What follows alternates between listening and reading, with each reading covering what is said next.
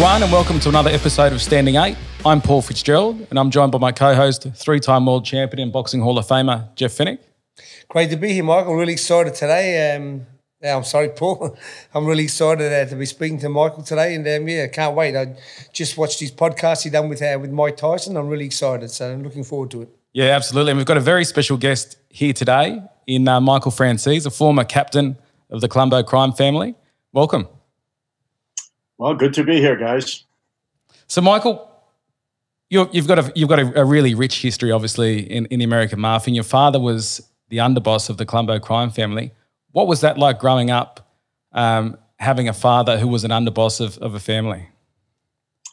Well, certainly different. You know, it's it's not only that he was the, the underboss, but he was extremely high profile. You know, he was a major target of law enforcement. He was, um, you know, a media darling at the time that just loved covering him. He was kind of like the John Gotti of his day.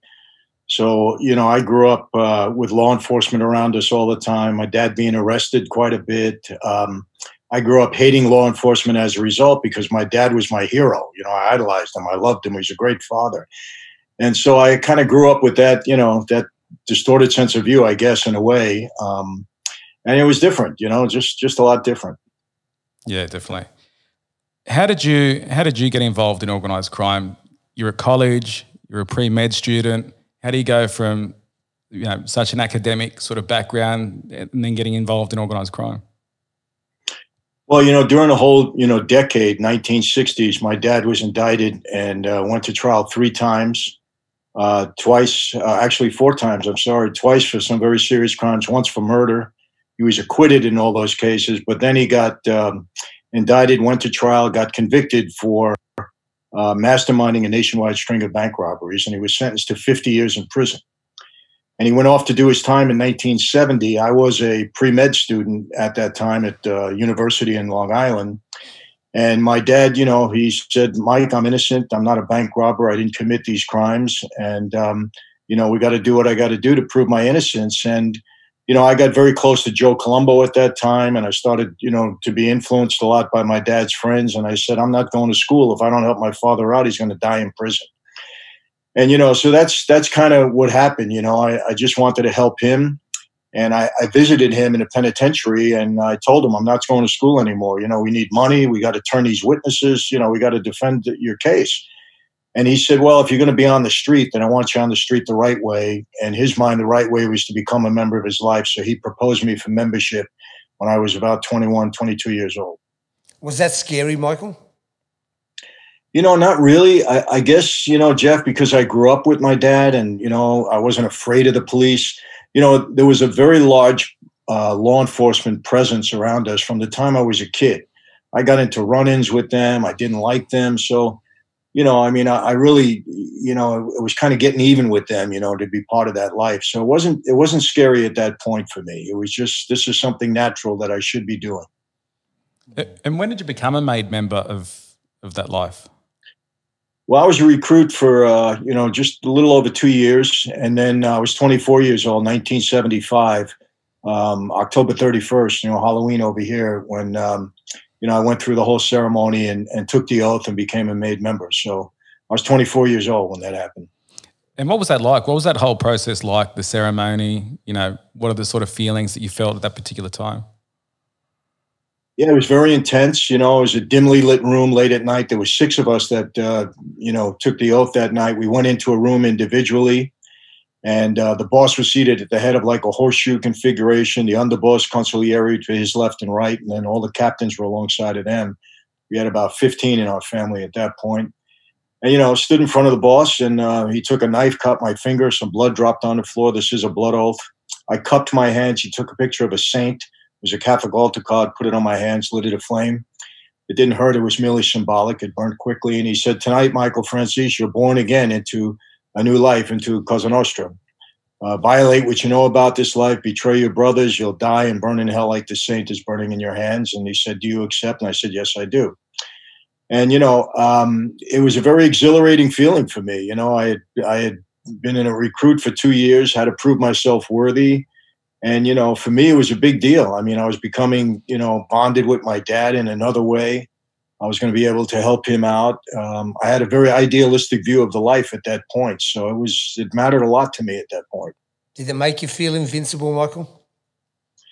You know, it, it, it made me feel strong. You know, because they tell you, look, you know, uh, you're part of a brotherhood now. Nobody will ever bother your mother, your wife, your sister, your daughter. Wherever you go around the world, you'll have somebody to back you up.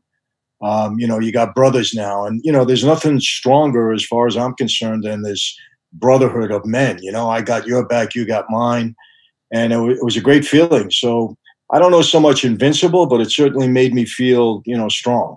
Made you feel important. But uh, Michael, I know you're saying this about this brotherhood and all this. Um, I grew up in a, you know, not, not as tough as that, but I grew up in a in a region where I got locked up when I was a young boy, and like I said, my my house has been shot. Um, I've uh, been in the street and attacked by a group of guys. I've been bottled and put in hospital, just you know, and sticking up for myself.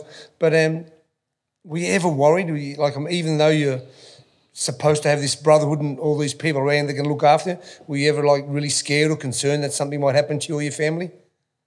Well, you, you do worry, not so much for my family, but you know, look, that's a life. Honestly, you know, um, there's a lot of treachery in that life. You know, when you when you rise in the ranks and you become um, you know your own guy so to speak you know people are watching you all the time you know if it's not the government it's your own people. So you got to watch your back you know you got to be very careful. You got to know how to navigate that life. And if you don't you know there's serious consequences if you put into a position where you know somebody's trying to trap you into something or so i was always very mindful of that but i was very fortunate because my dad uh, you know, he knew that life as well better than anybody. So he coached me, he advised me. And then what I picked up on my own, you know, helped me to navigate that life. Because look, I saw a lot of guys get killed, you know, honestly, um, you know, friends of mine, people that made mistakes, people I think died for the wrong reasons. Um, but I got to understand that life, you know, pretty well. So I, I watched myself. Michael, did you did you surprise yourself or your father in how successful you were and how smart you were at being an entrepreneur and making the, the millions and millions of dollars that you made for, for the mob? Well, my father was excited about it. You know, he, uh, I, I, guess he knew I had something in me, but we didn't know. I didn't even know what it was. You know, I mean, you know, I, I was fortunate in that I knew how to use the life to benefit me in business, and I was very aggressive. Um, you know, I guess I had an entrepreneurial mind where I just thought of new things to do, and I, I brought some new things into the family that hadn't been done before and uh, you know just got fortunate went on to make a lot of money. And in that life you know money is power if you if you present yourself the right way. So it worked for me. Michael you're one of the, the highest money makers in the mafia i think it's, it's been quoted as saying you're making on average $8 million, $8 million a week in the 80s through the gasoline um, scheme that you devised. What made you such a good earner and how do you come across these different opportunities that sort of presented themselves to you well, you know, that's the thing. You know, there's a fallacy out there that, you know, mob guys sit in their social clubs and they concoct all these brilliant ideas to, you know, to get involved in various business schemes. Normally, it's not that way. Normally, somebody from a company, a business, Wall Street, major company, they think of a way to maybe defraud their company, make a little extra money, and they come to us. And, you know, that happens quite a bit. And, you know, I think if I had a talent, my talent was to be able to recognize a good deal and then follow through with it.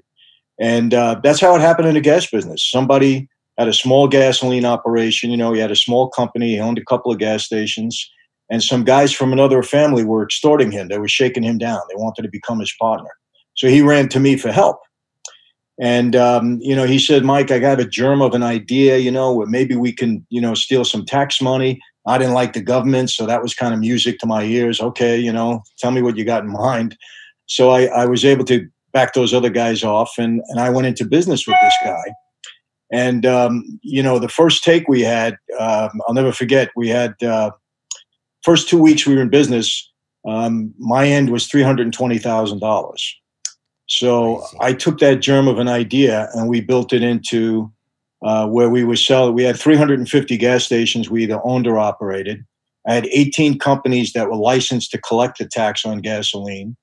And at the height of my operation, which I ran for eight years, we were selling a half a billion gallons of gas a month, and we were taking down 30 to 40 cents a gallon. So if you do the math, it was a lot of money. And um, you know, I brought in the Russians from Brooklyn that were my partners. They had a small operation. I combined them into ours, and you know, we grew because of that. And um, you know, in some ways, I got lucky. You know, this guy came to me, and we were able to develop this. Um, but it was a very, it was a very intricate operation. We had to be really careful because law enforcement was on to us the mm. whole time. They just couldn't figure it out. So I always had to stay one step ahead of them and that was uh, was not easy because you know they're not totally stupid. You know they know they know what they're doing sometimes. Yeah. So um, it, it, was quite a you know it was a sophisticated operation that we put together. Michael, how was the money split? How did you share this money? How? well, you know, it was a big operation. I mean, look, I didn't put eight million dollars a week in my pocket. I don't want you to understand that, you know. And I mean, I was kicking up two million dollars a week to the family. They were earning big with me. Um, and then, you know, but look, I'm not complaining. I did pretty well, you know, yeah. that's for sure. I mean, I took my end, but a lot of guys earned a lot of money, you know, and that's one of the secrets on the street. You know, when guys are earning with you, you're in pretty good shape. You know, if you're a greedy guy out there and you're taking it all, um, that doesn't work well in that life. You know, a lot of people paid the price for doing that, even even on a high level. But um, I made a lot of people earn, and uh, they did well with me and uh, just it, it was good, you know, until the government caught up with me. Was there a lot of jealousy around at that particular time from other families because you're earning so much money and you know it's, it's within your your particular crew and family? Was there a lot of jealousy and sort of treachery around that? Oh yeah, you know you have to deal with that, especially that I was one of the younger guys, and you have resentment automatically because you're a young guy. You know when you come into that life, as soon as you take that oath, you're on equal standing with everybody. I don't care if they were there 30 years before you, they're your equal at that point. And, uh, you know, the, the old timers resented that. You yeah, know, a lot of times I had to sit down with the old timers over different things. And because I was so much younger than they resented it. But, you know, you got to hold your own anyway. And uh, so I had I had to deal with that. But I also made a lot of people earn money. You know, so they they, they liked that fact. You know, um, you know, like Fat Tony, who was a boss of the Genovese family, very close with me and uh, you know I, I made him earn money with me too so you you make a lot of friends you just gotta like i said it's a it's a line you gotta navigate mm. there would have been a lot of a lot of those guys that they're thinking that you got a leg up because of your father of course yeah i mean you know look my father had a lot of respect and you know i, I tried my best to to kind of hold you know hold my own in that regard and, and make him proud and let people think the same of me you know so um it, it, it worked well look you know, the only reason the whole gas business came tumbling down was because my partner became an informant. And uh, he got in trouble on an unrelated case and uh, didn't want to go to jail. So he gave me up and he gave up the operation. Um, but other than that, you know, the government, they took a lot of shots at me. I, 18 times I was arrested. I went to trial five times. I beat every case. I beat Giuliani on a big case. So, you know, I was well prepared and well financed to defend myself in that regard. But eventually they're going to get you. You know that it's not going to last, no matter who you are, how how much money you have, how strong you are. You're going down at some point. And Michael, it's a, it's a strange thing. Like I said, I grew up obviously um, doing a lot of things wrong, and but it's um, that oath that we all take and the promise that we all give that we're you know never going to give anybody up or we're going to be loyal. It's it, really at, at the end of the day, the thing that I learned about life, the ones that that lasted the longest were the ones who were the ones who give people up, who who who you know, betrayed each other. Well, you know, unfortunately, in, in some cases that's true. You know, and, and there was a lot of that in, in my former life. You know, when that racketeering law came into effect, really in the '80s, and guys were getting bundles of time, and you know, no bail. Um, that's when guys started to flip. And you know what happened in the racketeering law, which was devastating to our life, is that murder prior to the racketeering laws, uh, you know, coming into play, murder was a state crime. It wasn't a federal crime. But under the RICO statute, you can be indict people for murder.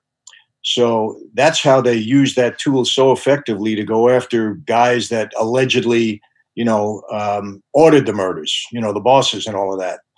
And um, you know, when guys can go down for murder and get life for hundred years, they don't stand up that easy. You know, mm-hmm. regardless of what anybody says. When you're facing that kind of time, look, any mob guy can do ten years, fifteen years. You know, you get out on parole after seven, eight. You know, and you go on with your life. But when you're facing uh, life without parole or hundred years in prison, no parole, it's a whole different ball game, and mm. we saw it happen in our life. I mean, guys started flipping left and right.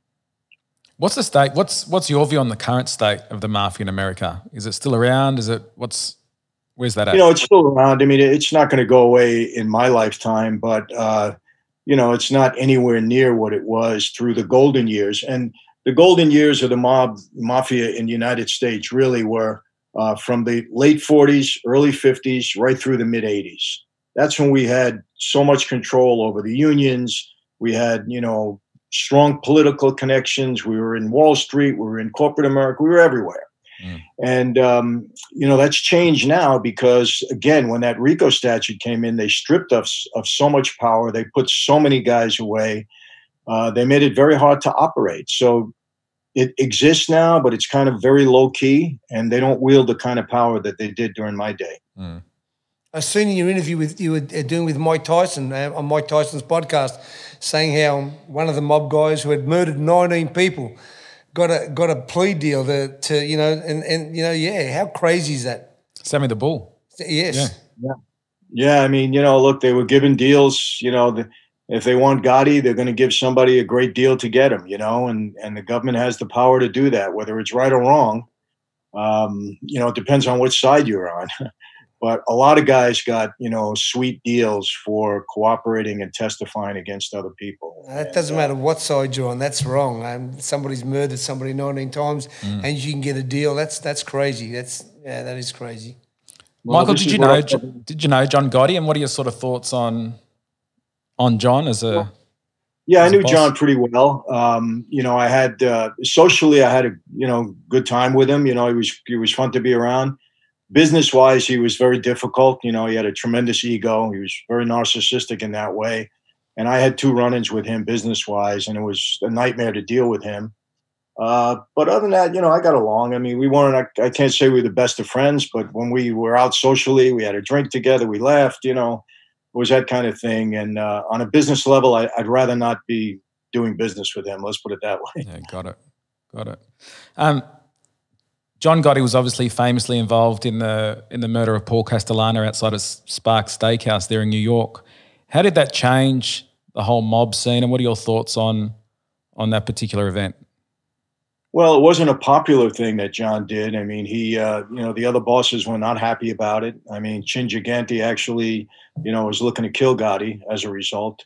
Uh, my boss, Persico, uh, he didn't like Gotti you know, nobody likes when, when you go off like that, you don't get commissioned okay and you kill a boss, people resent it, you know, mm-hmm. they don't like it. So he didn't he didn't make many friends as a result of that. Um, but you know, I don't as far as having an impact on, you know, the life itself, other than the fact that he brought so much heat on his own family, you know, on the Gambino family. And a lot of guys resented that also. Mm. So, you know, John was a very flashy guy and uh, you know in that life you're supposed to be low key i mean i was i was kind of uh, guilty myself not of trying to be flashy but i just you know i had a jet plane i had a helicopter i, I enjoyed the fruits of my labor so to speak. So that's not the best thing in the world when you when you're doing stuff like that so it doesn't help. So i mean john had a lot of resentment you know i, I would say that. Yeah got it. Got it. Um, you would have been involved in a lot of sit downs in your time and obviously you're a younger guy hugely successful, captain in the Colombos. Was there ever a time where you thought, wow, this this sit down's not going very well. It's it's not going my way. I'm I'm concerned for my safety. What's what's going to come out of this? Was there a particular event that, that sort of well stands out? You know, I sat down so many times in different business events, so I never I never worried, you know, about my own welfare in a sit down. Um, you know, I knew I usually went in pretty well prepared. I didn't like to lose, so um, you know, if I knew I couldn't win, then I knew what I would settle for, and for me, that was a win. You know, so you, you know, a lot of politics are played, you know, with these things. So you got to be careful. But there was, you know, one of the horrors of that night, that life, is that you can make a mistake. You know, uh, your best friend walks you into a room and you don't walk out again. You know, mm. that's that's one of the horrors of that life. And I had that experience one night when they were trying to shake me down, basically, you know, the, the word out on the street was that I was making billions, which wasn't true. And I'm turning in millions. So now they want to make sure, you know, that because money is, is, is very meaningful in that life. So I had, you know, a night when I was brought into a room that I'll be honest with you, I was pretty scared because my best friend walked me in. I didn't like the setup. And uh, I didn't know what was going to happen. I had to walk into a basement apartment to meet the boss who was on parole. So it had to be a covert meeting. And uh, I was scared. You know, Did I you said, have to walk in? Did you have to go? Well, yeah. I mean, if I didn't go, uh, number one, it, it wouldn't look good. Number two, uh, where am I going to go? Where am I going to run? You know, and people have asked me. You know, I got to thought you, you were going to get ambushed, why would you go? You know, Jeff, I'm gonna I'm gonna answer that because I've been asked that all the time. It was about a uh, we went to a house in Brooklyn. It was late at night, and we parked the car. And my best friend was one of my best friends, I should say. He was another captain in the family. He got out of the car. I was on the, the passenger side, and he walked behind me. And there was another guy sitting in the back of the car. And I I didn't know him that well. I mean, I recognized him. I might have seen him once or twice, but I'm saying, man, you know, what do they need this guy in the car for? So now uh, it was about a 30 yard walk from the car down to the basement apartment. And people have said to me, I was scared. You know, I'll be honest with you. I was I was scared. My heart was beating. I said, this this is not good. I'm, I may get killed here. And uh, people said, well, why didn't you cut and run? And you know that was really heroic. It it wasn't heroic at all. It was kind of robotic. I mean, I said I was so much a product of the life. I said, hey, if this is it, then I guess this is it. And maybe out of fear, I didn't run. I don't know. I, I can't respond to that. I can't think about you know what caused me to keep going. But when that door opened up, uh, you know, I almost had a heart attack because you know I know how it goes. You know, that door opens, somebody's there, you're dead. That's it. It's gone. But fortunately, that didn't happen. I'm here, and you know they grilled me on stuff. And what what happened in that meeting? I started to get mad, and you don't do that with your boss. You know that's that's never going to turn out good. I started to get angry because I'm saying, hey, I'm turning in all this money, and you guys giving me this kind of hard time. Question. I didn't put anybody in trouble. I didn't, you know, I took all the heat. I took all the weight. Uh, but then I calmed myself down and everything was good. And at the end of the night, oh, yeah, they hug you and, you know, have a glass of wine and that's it, you know. But hey, that's the life. That's you sign up for it. That's part of it, man. And do you do you miss the life these days? You know, I miss certain things about it. Yeah. I mean, I miss the camaraderie with my guys. You know, I had a big crew. We were we were pretty solid. You know, so I, I miss that. I mean, I don't miss the partying. I settled down now. You know, I'm married for a long time, so I don't miss the partying or any of that. But you know, I, I do miss that camaraderie among the guys. You know, I really do. It was something special that we had, even for the time that we had it. And um, you know, I, and it was look, I had some good times. You know, I mean, I lived pretty large back then. We know, had good Michael, times. and even when you think of it today, when it wasn't what you really thought it was, like I'm, I'm the same. Like I said, I was in these gangs and stuff, and uh, I loved. I used to, I used to have a saying that you know, how the men say their wife is their best friend. I've learned through the years now that without doubt, my wife's my best friend because all those guys who I thought were my loyal um, friends and stuff weren't the loyal guys I thought they were. So, you know, but it, life just changes and I think you learn, you get wiser. And I'm the same you. I've been married for a long time now and it's the best thing I've ever done, you know? Sure. I mean, you know, look, you know, when you get older and you mature, you realize there's different things in life that uh, that are satisfying and, and give you contentment. So, look, you know, I, I say it that, that life is a dead end street, and um, you, you know, you're just not going to last. And it's a message that I give to young people all over the world. Uh, you, you're just not going to last. It's a different world today. There's too many informants out there. The government here in the United States has too many weapons um, you know, and they're going to catch up with you. And when they do, you know, here in the states, I mean, you, you, know, there's severe consequences for being part of that life, very severe. I mean, I have guy friends of mine that got 300 years, Mm. two life sentences, 100 years with no parole. You got to do 85% here, so you you don't have a shot. You're done. Yeah. Crazy. I'm sure you get asked this question all the time, but how were you able to walk away from the mob life and do what you do now? You know, you didn't inform on anybody. Um, how did that come about, and how how were you able to walk away when so many other people weren't? Well, you know, it was a combination of things. I think you know, um, you know. I, I mean, obviously, I got very fortunate, but you know, um, I knew that when I left the life, there's no way I could go back to New York. I wouldn't last because you're not allowed to walk away. So there's no blueprint, you know, that there's a blueprint for walking away from that life successfully. You know, I mean, I didn't enter a witness protection program. I'll be honest with you, I spoke to the government because I was trying to, hey, I'm done with the life, you know, leave me alone. This is the crimes I committed. I took a plea, I got a 10 year sentence. I paid them $15 million in restitution. I gave up a ton of property that I had to settle my stuff with the government because I wanted them off my back. And um, so I don't go back to New York.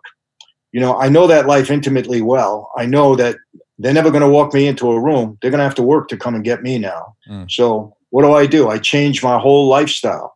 I don't walk my dog at seven o'clock in the morning, create a pattern in my life. I don't go to the same restaurant every Tuesday night. Wow. I stay out of nightclubs. I know that's a bad place for me. People recognize, I know who hangs out there. You know, so I changed my whole lifestyle in, in, a way. And I was very disciplined with respect to that because I never sold these other guys short. Never sold them short. I knew how capable they were. And, you know, one by one, every one of them went to jail or got killed. Every one of them. We had a big war in our family in the early 90s. I mean, 13 guys got killed. I think 30 guys became informants. Another 60 or 70 went to jail. I mean, it was devastating for the Colombos. So, you know, and and after a while, when they realized, you know, when I walked away, everybody really thought, oh, he's going to be become an informant, he's going to testify, and so people were really upset with me. Even my father thought, and I kept sending him messages. I said, Dad, I'm not going to hurt anybody. You're not going to understand what I'm doing, but I'm not going to hurt anybody. And um, you know, eventually, the government did me bad. They were putting my name on the witness list of trials that were going on in New York like I was going to be a witness. So when when the uh, guys got the discovery, they saw my name on the list, but then I never appeared mm. anywhere. And then you know I'm out. I do five years, and then they violate my parole because the government was upset with me. I go back to prison. So now people are saying this guy's not cooperating. He went back to prison. He never hurt anybody. So now the heat, you know, kind of in a way came off of me. They had their own problems. I'm out in California. Hey, leave this guy alone. You know. Yeah. And then my boss, who really took it personal, he really took it personal when I walked away. He got life in prison. You know, so he, he was powerless to come after me. Had he been on the street, I would have had a problem because mm. he was a treacherous guy. And uh, even though we got along very well, he would have not let me go. Um, but he he lost everything that he had. He's dead now. He died a year ago. It's crazy. This story you're telling me as a a friend who's a, a, mobster here in Australia, a great friend of mine named Graham Abbo Henry. And he kind of tells the same story how he wouldn't go to the same place or be doing it at the same time any day because he knew some of these guys are watching him. They tried to they tried to execute him a couple of times and they failed because he was just one step ahead of them. But it was just so similar listening to you and listening to Graham. Yeah, yeah so so similar. Yeah. Yeah, you know, I had, uh, you know, I don't know how serious the attempts were, but I had, you know, the FBI, uh, when they get word from their informants that your life is in danger, they have to tell you whether they like it or not. So, I mean, I got, I came home one day when I was on parole, and two agents were in the in my house with my wife. She was crying because they told her that, you know, there's people in town to kill me, and if I don't leave, I'll be dead by the weekend. So I had to pack up my family. You know, we had to go away for a couple of days, and um, so I mean, I had a couple of things like that, but you know, um, like I said, I, I just got very fortunate with the way things broke for me, you know. And now look, I don't go back to New York and say, "Hey guys, you know, I'm coming back to visit everybody." I w- I probably wouldn't last, you know. Yeah. They, I wouldn't last 48 hours. They get me. Yeah. Uh, you know, you're not allowed to do what I did, but but uh, I just been, you know, just just very fortunate. You know, it's funny. It took me. Uh, I always had a problem getting a visa to go to Australia. You know, and so after I finally get my visa, it took me months, you know, to get it. And we had to, I had to do all sorts of things. When I get into town, I think it was Melbourne, it might have been Sydney. Uh, I get an invitation from, I forget his name, from a very well connected guy. Michael, we have dinner for you. Come on to the restaurant. You know, let's let's get together a little bit. It was a very nice invitation. So I said word back. I said, hey, you know how I had a struggle to get here? I said, all they have to do is see me at your restaurant. I said, they'll ship me out, you know, within an hour, I'll be gone. So I said, but I appreciate it very much. You know, I forget his name, but I heard he was, uh, you know, he was a pretty well respected guy there. well, I don't want to, I don't want to bring up any names at the moment either, but yeah, but no, yeah, yeah, um, yeah, I would have loved to, yeah, when you, when you're here next, I'd love to catch up with you. No, for sure. Yeah, absolutely. And we'd love to talk about Mike, Cam, because like I said, I know you've done a few things with Mike Tyson, and we can just change the angle a little bit here. But what do you think of Mike? You know, uh, I really got to like Mike. You know, he's so Smart transparent.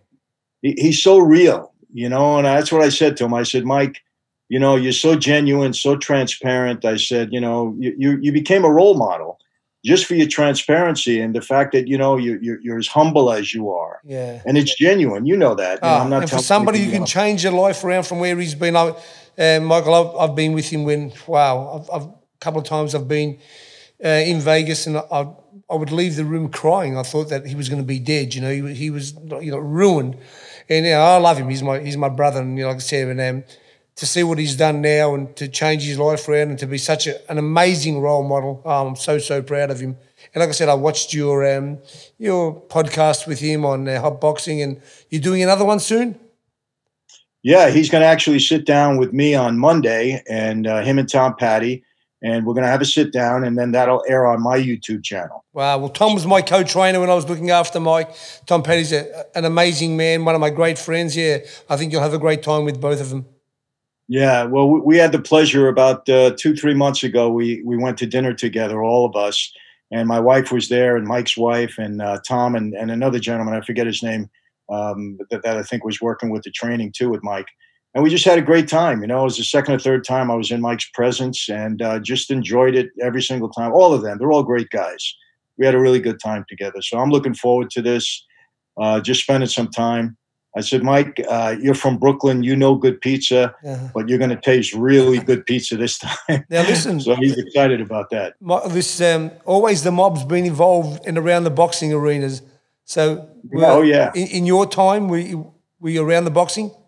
Oh, all the time. I love the fights. My dad loved the fights. Uh, you know, I had a little interest in Vito Antuofermo. You oh yes, Vito? of course. He fought yeah. Hagler. Yep.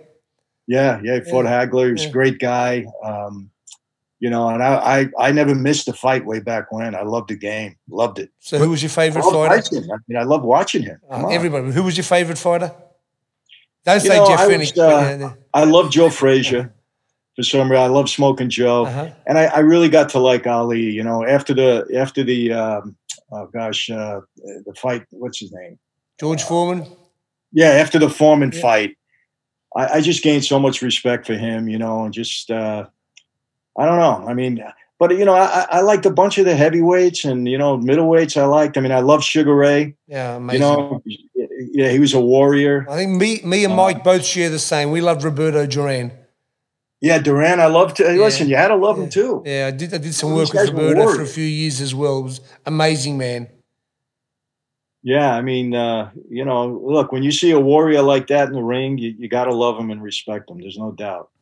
And then when you see Mike outside the ring, like I said, um, as hard and tough as he was, he's, he's a softy outside there. He loves everybody. He helps so many people. People don't realise what a great human he is outside the boxing ring as well. So, yeah, I love Mike, and I'm so happy to to see you've connected with him and Tom because they're great people. You know, yeah, it was funny. Um, I I have uh, my wife's cousin is a UFC guy, and uh, his name is uh, Anthony Pettis. I don't know mm-hmm. if you ever heard of him. Yes, I do. Yeah, yeah. And so I was uh, talking to Mike about it, and uh, I said, "Mike, do you like UFC? You know, you like that fight, fighting like that?" And he says, "Mike, if two cockroaches were fighting on the table, I'd be interested in it." He said, "I love everything that's a fight." you know, I cracked up. He made me laugh. You know, but uh, yeah, he's just again, you know, as you know, just so genuine, and it's a pleasure to be around him. Mm-hmm. Michael, while we're on sports, just quickly, I mean, the the mafia and the mob were famous for fixing college football games and basketball games and you know sports. How did that come about, and how do you how do you go about fixing a college football game or a basketball game or, or something like that? Well, listen, you know, it's all about the spread. It's not about winning or losing. It's about the point spread. So, you know, a lot of these athletes got themselves in trouble in gambling situation.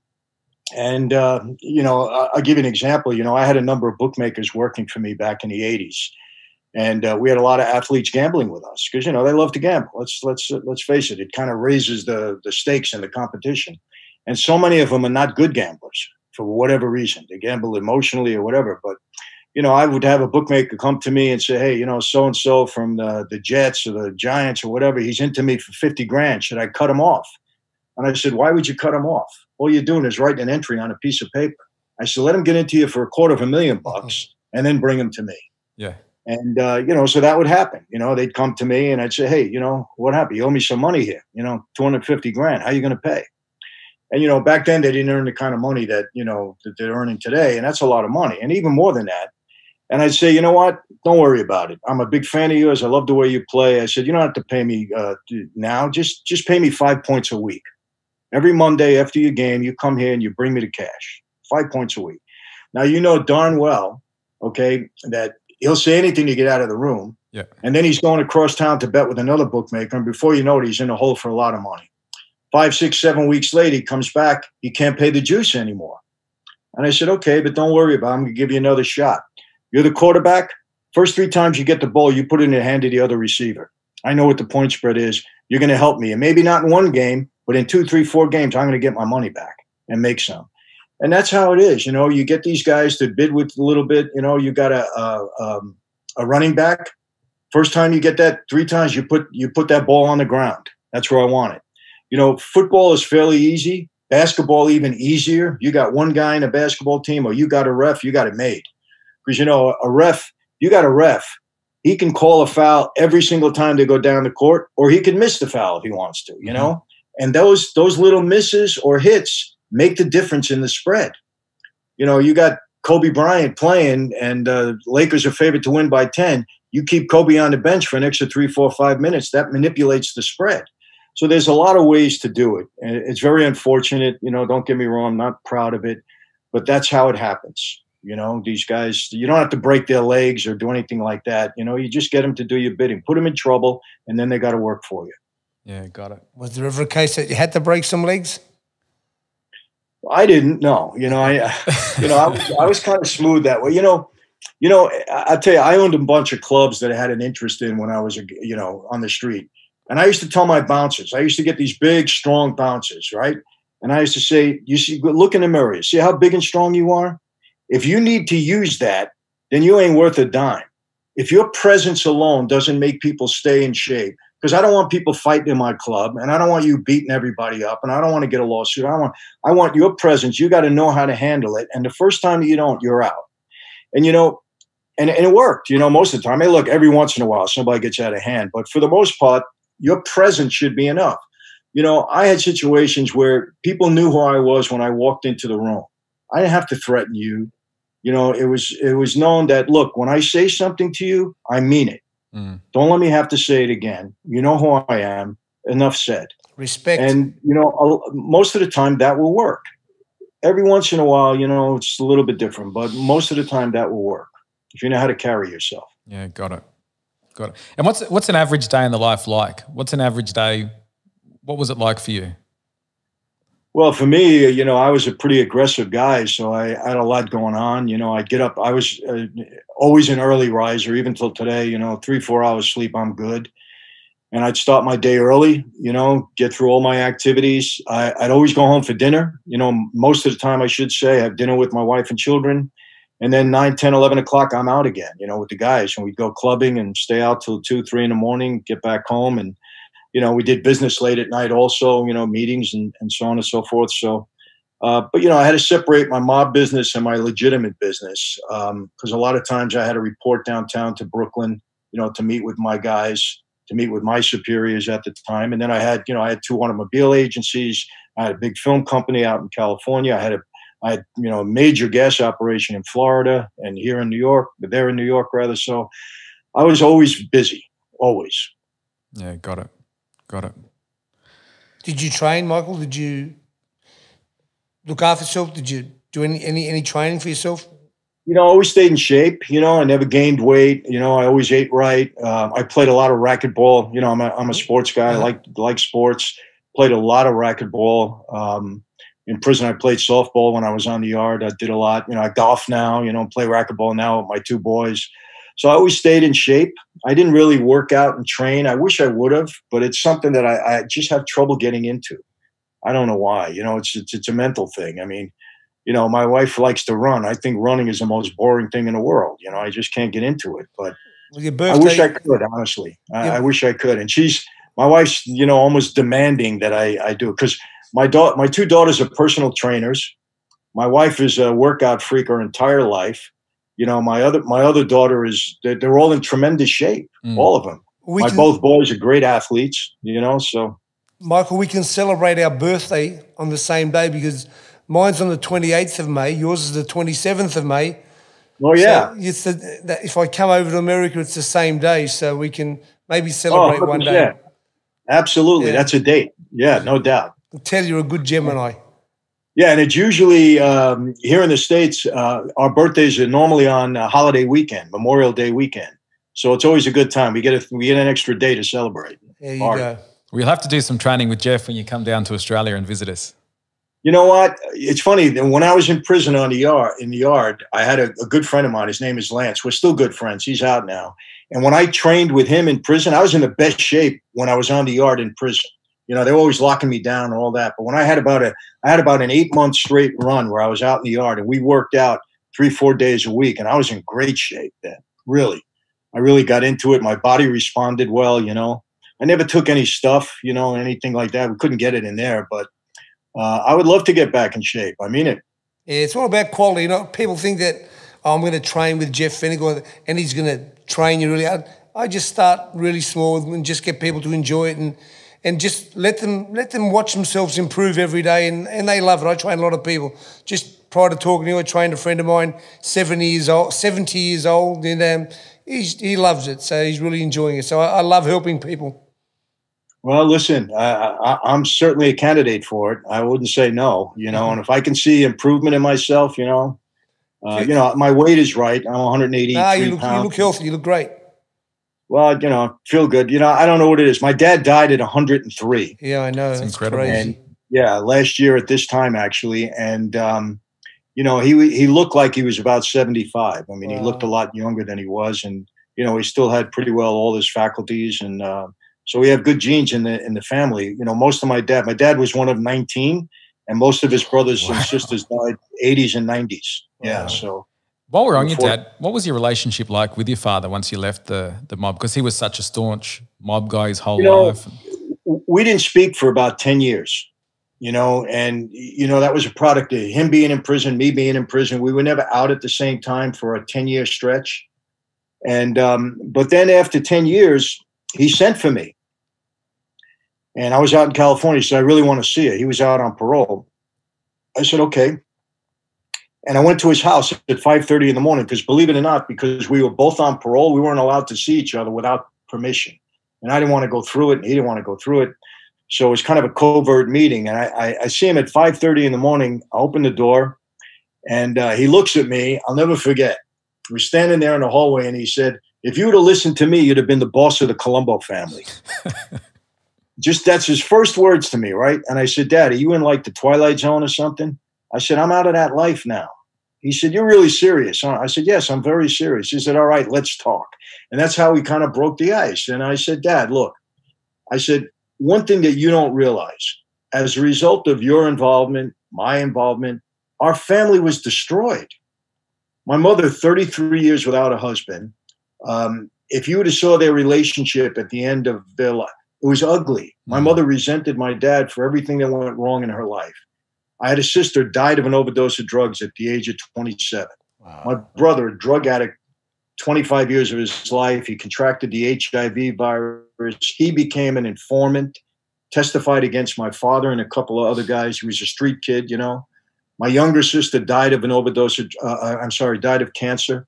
I, my whole family was destroyed. Mm. I said, I don't want to do that to my family. For what? I said, you didn't, you know, and I, I told him, I said, you did all of this time. You never opened your mouth. You stood up. And what did the family give you in the end of the day? I'm not saying they owed you anything, but what, what did all of this do for you? It didn't do anything for you. I said, I don't resent anybody. I'm not mad at anybody. I don't want to hurt anybody.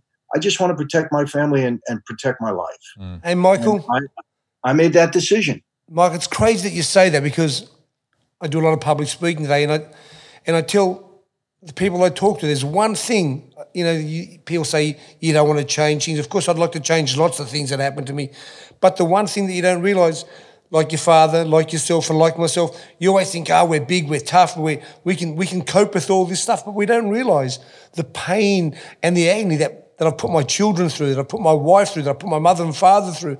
If I could change it all, I'd kill myself not to have done that or to realize what I really put them through, Michael, you know? And to hear you say that, it's so, so true. And I mean, I would think that sometimes I think my, my family should hate me for what I'm putting through. They still love me, you know? And I've, I, I've tried to change, but like I said, it's just so, yeah, as as males and alpha males, we're so so stubborn, and we just think that we can put up with everything, but we don't realise what we put our our loved ones through. And I'm I'm just so happy that you said that. No, exactly, man. My mother was destroyed over it. Uh, look, my wife waited for me eight years. Mm. We we were married um, four months when I went off to prison, oh, wow. and she was 21 years old. You know, and she had to visit me all over the country and drag my little children around with me. You know, when I got out on parole, we had it with a child dragging the baby around. You know, for the next three years that I spent in prison, and uh, she stayed with me. But look, it's it's a heartache for the people that you don't realize what you're putting them through. Mm. And uh, I just said, I'm I'm not willing to do that, Dad. I'm not going to hurt anybody. I'm not mad at anybody. Uh, you know, I understood what the life is all about. Um, and that's the one problem I had with my dad is that he would not take responsibility for any of it. He used to say, It's not my fault. I got framed. I said, I know that, Dad, but you didn't get framed because you were a doctor, a lawyer, or a priest. You got framed because we were mobsters. Mm. And I'm not saying it's right to be framed. I don't agree with that at all. Government should play by the rules. They're not criminals. They have to use the arsenal of laws that they have. If you can't convict somebody with the arsenal of laws that they have, then you then you shouldn't convict anybody. Get them for what they did. I said, but but as a result of that, Dad, our family was destroyed, and this was your choice, your lifestyle, and we have to take responsibility for that. And he wouldn't. He, until until my dad passed on, he would not take responsibility. He would blame, you know, the system. He blamed every my brother for going crazy. He blamed, and I I I, I was upset with him for that. You know, I really was. I mean, I for, you know I forgave him like he forgave me for walking away but um, he just couldn't bring himself to admit it. Maybe internally he did, but he wouldn't say it, you know, to anyone. Yeah, got it, got it. Yeah, Michael, this has been amazing. I think. Look, you know, um, we want to thank you so much for your time today, and um, uh, look, I've got something that I um, I look forward to doing now next time I'm in the states. I promise you, I will catch up with you, hopefully with Mike and Tommy or with Tommy. But um, Mel, I can't thank you enough for your amazing insight today and the time you've given us. And um, yeah, I think that um, uh, this is going to be um, something I think that everybody should um, sit down, listen to, and tune in because um, what what you spoke about today was a, an insight into a into an amazing person's life, and I can't thank you enough, my friend. Well, I really appreciate it. I feel like we made a connection here. So, you know, I, I, really do hope when you get to the States, you come and visit with me. We'll spend time together. I'll certainly tell Mike and Tom that we had a great, you know, session together. And um, just make sure you don't, me, just make sure yeah, you don't tell anybody time I'm coming to see you. I will. I will. No, keep sure. that a secret. Don't let nobody know the time oh, I'm coming. Tell them? Yeah. Oh, okay. I won't. no, nah, I'm just joking, mate. Just joking. uh, no, nah, I'm just joking. But, I can't wait. Please, to, yeah please tell me when this is going to air because I have friends in Melbourne and of course my partner in Sydney. I'd, He'd love to see this. Love yeah, absolutely. To, we will. Uh, yeah, please let Lisa know or, or, myself directly. You know, I'll give you my number and uh, I'd love to stay in touch with you guys. Yeah, M- Michael, um, I'll get you to talk to my manager Paul here and get your number. So when I'm when I'm over there with Mike, I'll give you a call and I'll pop in and say hello to you. For sure. And you know, I'm in Newport Beach. You know, I'm out in Orange County, so but we'll go anywhere. I go to LA all the time. I have stores in LA, two of them there, so we go back and forth. Look yeah, forward to it, Michael. Thank you so much yeah. for your time. Thank you so much, Michael. And don't forget to subscribe, Standing 8, YouTube, Apple Podcast, and Spotify.